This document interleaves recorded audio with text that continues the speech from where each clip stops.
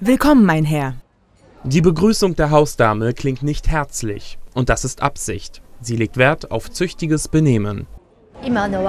Jungen und Mädchen brauchen heutzutage jemanden, der sie maßregelt.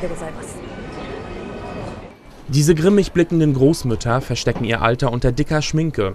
Einige sind 23, die älteste ist 77. Das Café Rottenmeier in Tokio geht auf die Zeichentrickserie Heidi aus dem Jahr 1974 zurück, die das Alpenmädchen weltweit bekannt machte. Die Kellnerinnen sind als Fräulein Rottenmeier verkleidet, die strenge Hausdame aus der Serie.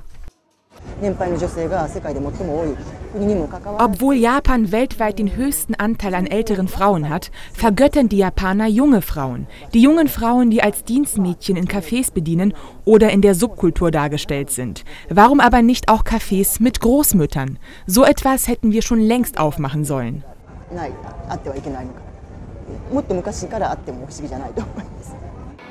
Nach einem eher spröden Beginn machen die Kellnerinnen Stimmung. Sie singen zur Musik, bereiten Gerichte zu und fordern die Besucher zum Mitmachen auf. Die Show richtet sich an ein vorwiegend weibliches Publikum, ganz anders als in den in Japan sonst üblichen Dienstmädchencafés.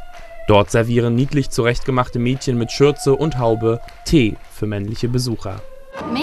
Ich dachte, es wäre lustig, in ein Café mit Großmüttern als Bedienung zu gehen. Ich kenne mich bei Heidi nicht gut aus, aber ich wollte mir das selbst mal ansehen.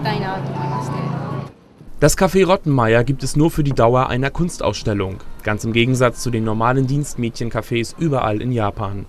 Aber die gebieterischen Großmütter sind sich sicher, sie haben einen bleibenden Eindruck hinterlassen.